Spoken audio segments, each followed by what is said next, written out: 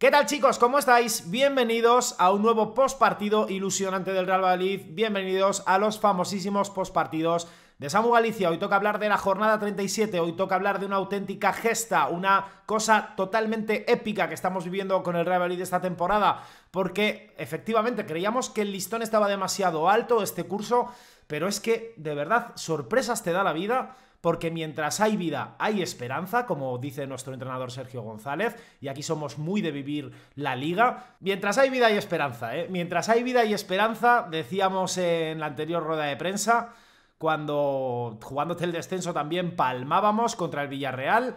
Y, eh, oye, por favor, no, no, quiero que nadie, nadie, nadie todavía cabe huecos, ni, ni haga ya ataúdes, ni nos enterremos nosotros mismos, porque de momento estamos vivos, yo estoy respirando ahora mismo y mientras hay vida hay esperanza chicos, porque desde aquí apoyamos mucho las frases de Mr. Wonderful, las frases de aferrarte a la vida, ¿verdad? Como se está aferrando el Real Madrid a esa primera división en la que nos queda solo ya una jornada. Qué poquito queda chicos para resetear, para tener otros inputs, para hacer clic y, despejarnos todos, ¿verdad? Porque hay que hacer una limpia, hay que borrar todos esos partidos que no han servido para nada, no nos sirven para nada, así que vamos a olvidar estos 37 partidos y vamos a centrarnos en el verdaderamente importante, que es la jornada 38, es lo único que podemos controlar. Vamos a resetear, vamos a quitar todo lo que hemos jugado de 37 partidos y obviamente, pues si ganamos en la jornada 38, pues está todo solucionadísimo ya y no importa lo que hayas hecho en el pasado, chicos, porque lo que importa es el presente y el futuro ya te digo yo dónde va a estar, en segunda división, comiéndonos una mierda así de gorda. Menudo ridículo ridículo, menudo ridículo. Es que no sé ni qué decir, de verdad. Estoy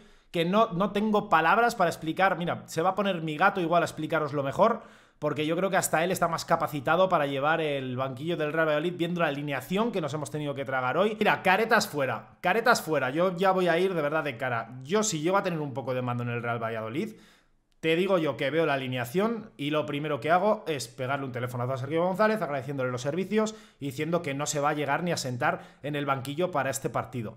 Es una alineación que yo creo que se ha reído, se ha reído de todos este señor y me da mucha pena porque yo creo que todo lo que había logrado con el Real Madrid, todo lo que se había construido en cuanto a unión de afición, de esperanza con ese ascenso y demás, o sea, se lo ha cargado él solito. O sea, se lo ha cargado él solito, porque me puedes decir, Miguel Ángel Gómez, menuda plantilla hecho, menuda no sé qué.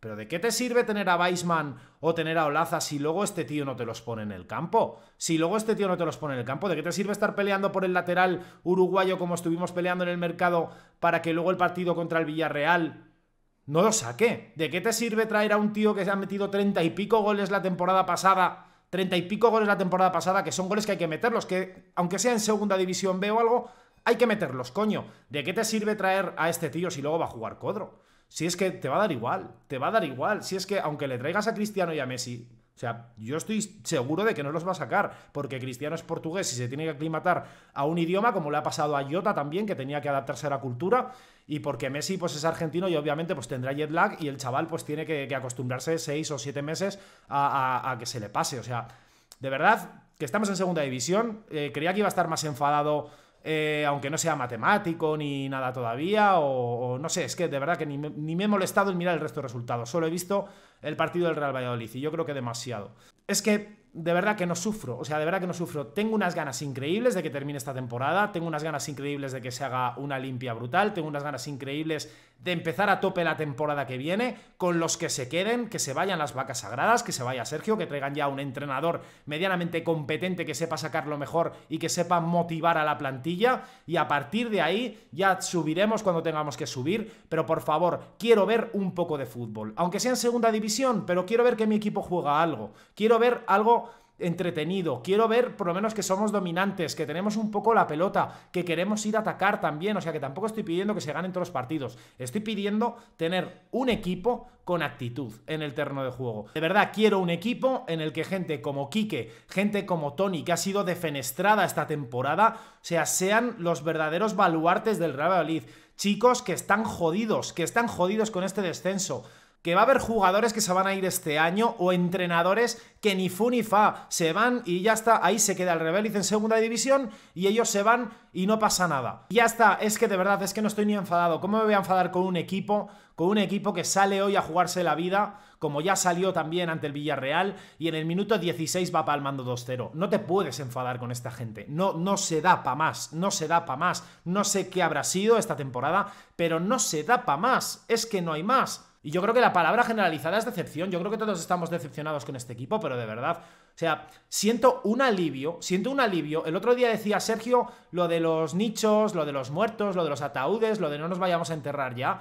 Pero yo, o sea, realmente creo que esto ha sido un funeral. Y yo creo que cuando más sufres es en el momento en el que ves que se está muriendo esa persona y cuando descansas por fin es cuando ya la terminas de enterrar y dices, venga, a levantar la cabeza y vamos a empezar otra vez a vivir y vamos a empezar otra vez a hacer nuestra vida. Pues yo creo que ya Hemos enterrado al Real Valladolid, a este Real Valladolid de esta temporada, y yo creo que estamos ya, yo por lo menos, bastante más relajados de decir en plan de, mira, hasta aquí hemos llegado, vamos a dejar ya de hacer el ridículo, que ya toca también, vamos a dejar ya de ser el reír de la liga, vamos a echar a las vacas sagradas, vamos a resetear todo bien, ¿eh? resetear, que es una palabra que nos mola mucho, vamos a encontrar otra vez las sinergias, Vamos a echar a todo Kiski de aquí y por favor, vamos a hacer una limpia que por mí era de 20 personas tranquilamente. Que se queden Quique, los Tony, toda esta peña que siente el Real Valladolid y a partir de ahí vamos a empezar a construir un proyecto en el que dos, tres o cuatro años o los que haga falta subamos a primera división, pero vamos a subir bien. Y ya está, de verdad, eh, qué tranquilidad, teniendo al muerto enterrado. El muerto al hoyo, el vivo al bollo, eh, que mientras hay vida hay esperanza, pues yo de momento sigo vivo, así que voy a mantenerla. Y a partir de ahí, ya veremos, ya veremos. No me queda otra. Que pase rápido el ridículo este también contra el Atlético de Madrid y a comenzar de nuevo. Que tengo unas ganas, de verdad, que estoy bastante ilusionado ya por ver toda la limpia que se va a hacer, por quitarnos de encima todo este barro, toda esta mierda que llevamos pillando toda la temporada. Y el primero que va a animar al equipo en segundo año que viene voy a ser yo, indudablemente. De, hecho, tengo unas ganas ya increíbles de que empiece la siguiente temporada y ver al equipo levantar la puta cabeza y no arrastrar el escudo como está haciendo este. Ya está, chicos. Eh, lo que queráis opinar, como siempre ya sabéis, abajo en comentarios. Si os ha gustado este postpartido, dadle like, suscribiros si no estáis suscritos. Y nos vemos eh, en el próximo postpartido que va a ser también la hostia. Va a ser la hostia, vamos. O sea, seguro que nos salvamos.